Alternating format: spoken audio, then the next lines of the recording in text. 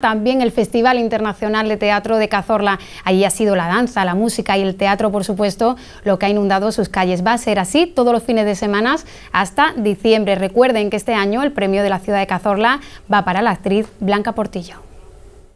La toma de las calles por los artistas de teatro, danza y música es la fase previa de las representaciones de sala que comenzarán en los próximos días. Cazorla de Calle ha mostrado este fin de semana al público una panoplia de actuaciones que inauguró la compañía Torom Tamba, con un espectáculo de percusión, danza y teatro de Senegal y de la costa oeste africana. Y este espectáculo que se llama Tukichi Afrik, eh, lo que significa es viaje a África. Entonces lo que hacemos es una una reseña de en África depende del pueblo y depende de la zona, se tocan unos ritmos y unas danzas, todo tradicional dependiendo de la etnia con la que con la que en la con la que te encuentres.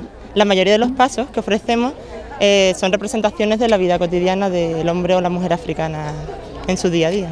Pero el festival no ha hecho más que empezar. El objetivo es mantener la atención del público todos los fines de semana de otoño entre el escenario del Teatro de la Merced y el entorno natural del Parque Natural de Cazorla, Segura y las Villas seguir fomentando la cultura, eh, que se cree vida en Cazorla, que la gente disfrute y que sobre todo sea un atractivo más y un motivo para que la gente venga a este lugar maravilloso de la provincia de Jaén que es Cazorla.